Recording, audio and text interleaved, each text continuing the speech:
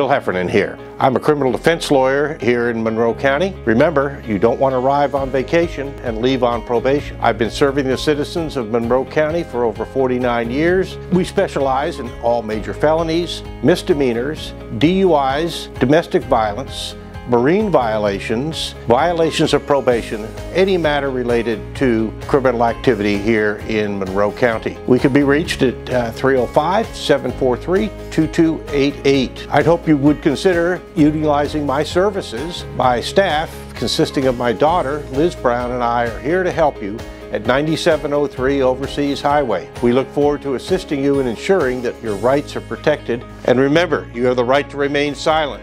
Use it.